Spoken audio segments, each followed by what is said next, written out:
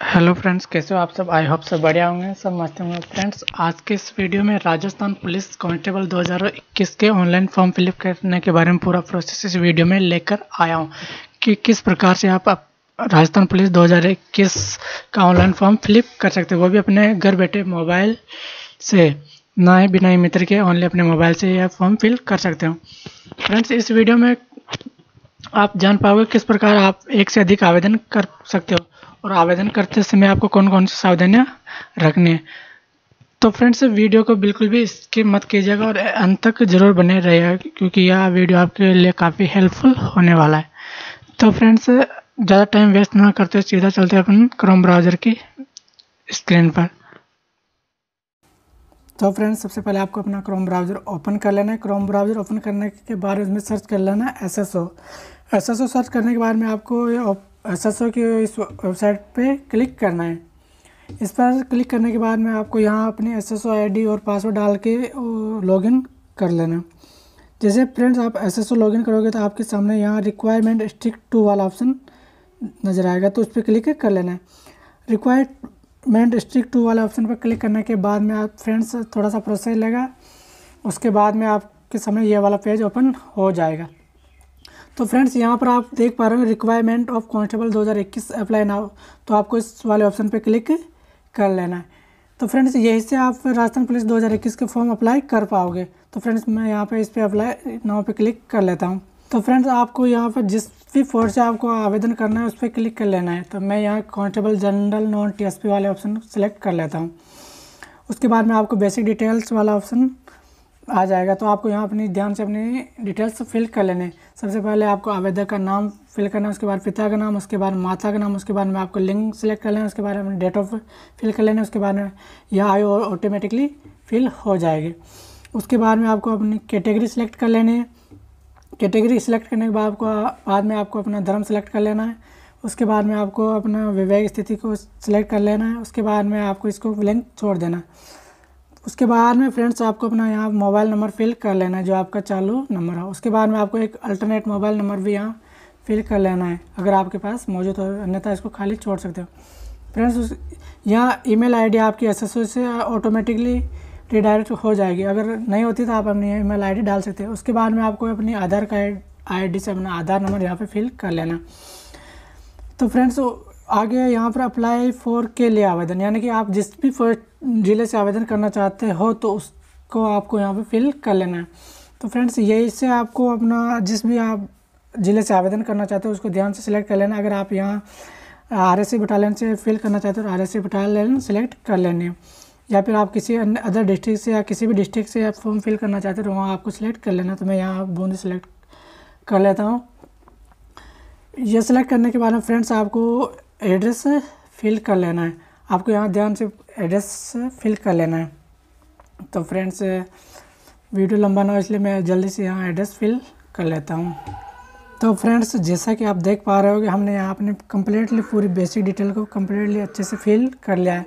इसको आपको अच्छे से चेक कर लेना ताकि कोई मिस्टेक ना रह जाए। उसके बाद में आपको परमानेंट एड्रेस पर पे क्लिक कर लेना है। उसके बाद में आपको नेक्स्ट पर क्लिक कर लेना है। फ्रेंड नेक्स्ट पर क्लिक करने के बाद में आपके सामने ये वाला पेज ओपन हो जाएगा। तो यहाँ आपको अपनी पर्सनल डिटेल फिल कर लेनी है।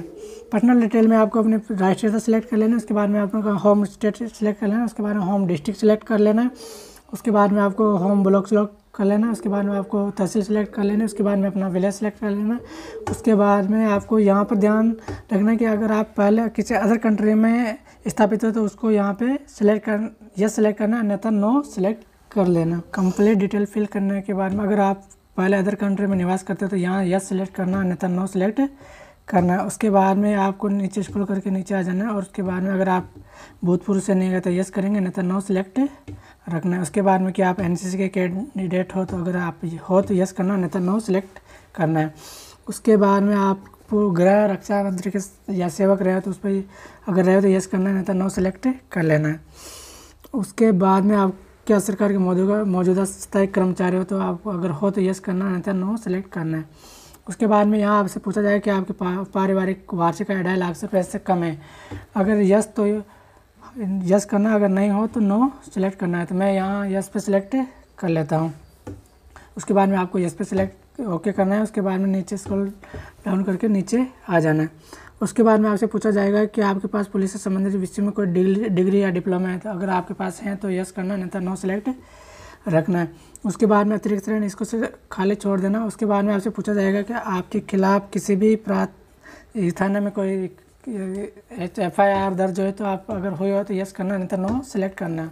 उसके बाद में आपको नो पे क्लिक करना है। उसके बाद में आपको यहाँ अपनी क्वालिफिकेशन डिटेल्स वाला ऑप्शन आ जाएगा। उसमें आपको टेंथ ट्वेल्थ और ग्रेजुएशन और पोस्ट ग्रेजुएशन की कम्प्लीटली डिटेल फिल कर लेना है। तो मैं यहाँ जल्दी से अपनी डिटेल फिल कर लेता हूँ। तो फ्रेंड्स मैंने अपनी क्वालिफ़िकेशन अच्छे से यहाँ फिल कर लिए उसके बाद में आपको यहाँ चेक बॉक्स पे क्लिक कर लेना है और ओके पे क्लिक कर लेना है। उसके बाद में आपको यहाँ पे नो पे सिलेक्ट करना है उसके बाद में नेक्स्ट पे क्लिक कर लेना है। तो फ्रेंड्स, उसके बाद में आपके सामने फ़ोटो और सिग्नेचर वाला पोर्टल ओपन हो जाएगा। तो यहाँ आपको अपना पचास से सौ के बी के अंतर अपना फ़ोटो और सिग्नेचर अपलोड कर लेना। फ़ोटो की साइज़ पचास सौ से और पचास के बी के बीच में होनी चाहिए और सिग्नेचर की पचास के बी से और बीस के बी के बीच में। और फ़ोटो में ये विज्ञप्ति जारी होने के बाद की डेट अंकित होना जो आवश्यक है। तो फ्रेंड्स, मैंने यहाँ अपना फ़ोटो और सिग्नेचर अपलोड कर लिया है। उसके बाद में नीचे आप देख पा रहे हो, यहाँ पर आपको एक बॉडी मार्क के लिए पूछा जाएगा तो आपको यहाँ बॉडी मार्क फिल कर लेना है कि आपको किस प्रकार का कोई निशान हो तो वो आपको यहाँ पे सेलेक्ट कर लेना है। उसके बाद में आपको नेक्स्ट पर क्लिक कर लेना है। नेक्स्ट पर क्लिक करने के बाद में आपको सामने अपने फॉर्म का प्रिव्यू आ जाएगा तो आपको उसको अच्छे से चेक कर लेना है कि किसी प्रकार की कोई गलती ना रहने पाए। उसके बाद में ही आप तो ये चलन काट, काटना है। फ्रेंड्स, आप यहाँ देख पा रहे होंगे, इसमें लिखा गया है केवल पूरा अवलोकन है। फ़र्स्ट है, आपका एप्लीकेशन नंबर हमारा अभी जनरेट नहीं हुआ। एप्लीकेशन नंबर फ़ीस जमा होने के बाद में जनरेट होगा। तो आपको यहाँ पर इस चेक बॉक्स पे क्लिक कर लेना है और आप पे पीस पर क्लिक करना होगा। जैसे फ्रेंड्स, आप पे पीस पर क्लिक करोगे तो आपको पेमेंट वाले ऑप्शन पर रिडायरेक्ट कर देगा। तो फ्रेंड्स आप देख पा रहे होंगे मेरे फॉर्म की फ़ीस चार सौ रुपये का टोकन यहाँ आ चुका है। तो यहाँ पर एक ट्रांजैक्शन नंबर भी दिखाई दे रहा होगा आपको और उसकी फ़ीस कितनी लग रही है फॉर्म की वो भी दिखाई दे रही होगी। तो फ्रेंड्स इसके बाद में आपको स्क्रॉल डाउन करके नीचे आना है और पे पेज पर क्लिक कर लेना है। उसके बाद में ओके पर क्लिक करेंगे, उसके बाद में और ओके पर क्लिक करेंगे और उसके बाद में आपको यहाँ पे पेमेंट वाले ऑप्शन पे आ जाएगा। तो यहाँ आपको अगर यूपीआई से पेमेंट करना है या फिर नेट बैंकिंग से पेमेंट करना है तो वो सिलेक्ट कर लेना है। हम यहाँ नेट बैंकिंग से पेमेंट करने वाले थे। यहाँ नेट बैंकिंग सेलेक्ट करके और अपने बैंक का चूज़ कर लेंगे। उसके बाद में पे नाव पे क्लिक करेंगे। जैसे आप पे नाव पे क्लिक करोगे तो आपको ई मित्र डैशबोर्ड पर पेमेंट के लिए रिडायरेक्ट कर देगा। इस प्रकार नेट बैंकिंग के माध्यम से आप अपना आवेदन की फ़ीस जमा करा सकते हो। फ्रेंड्स अगर आपको राजस्थान पुलिस कांस्टेबल के अगर दो फॉर्म फिल करना चाहते हो तो आप एक ही S S O I D से दो फॉर्म भी फिल कर सकते हो, उसका सेम प्रोसेस रहेगा। बट मेरी राय तो यह है कि अगर आप, अगर दो फॉर्म फिल करना चाहते हो तो उसके लिए आपको अलग अलग S S O I D से लॉगिन करके आपको अलग अलग S S O I D से फॉर्म फिल कर रहे तो उसमें क्या आपका रिजेक्ट होने में आपकी दिक्कत नहीं रहेगी। अन्यथा आपका अगर एस एस एक ही S S O I D से अगर आप दो फॉर्म फिल करते हो तो रिजेक्ट भी हो सकता है। फ्रेंड्स अगर आप दो फॉर्म फिल करोगे तो उसमें आपको किसी प्रकार की कोई समस्या नहीं आएगी और आप दो फॉर्म फिल करते हो तो आप अलग अलग दो जगह से सिलेक्ट होने के कगार पर आ सकते हो। फ्रेंड्स मेरे कई दोस्तों ने पिछली बार भी दो डबल आवेदन किए थे तो और डबल आवेदन से वो सिलेक्ट भी हुए थे। तो इस प्रकार से आप डबल आवेदन करके अपना फॉर्म फिल कर सकते हैं।